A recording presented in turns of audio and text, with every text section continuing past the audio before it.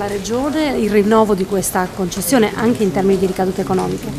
Beh, come è stato spiegato si tratta della concessione più importante in tutti i porti italiani, sia per il valore di quanto viene appunto eh, portato all'interno del porto di Trieste, sia per quanto riguarda anche il fatto che si tratta di uno dei siti più importanti che vanno a fare rifornimento di petrolio in Austria, in Germania e nella Repubblica Ceca. Quindi siamo particolarmente orgogliosi di poter mantenere qui l'investimento, implementarlo ulteriormente e rafforzare i nostri rapporti non soltanto con l'autorità portuale ma anche con un'azienda come SIOT che ovviamente pagando le tasse in Friuli Venezia Giulia è una delle aziende più importanti da questo punto di vista per quanto riguarda il bilancio regionale.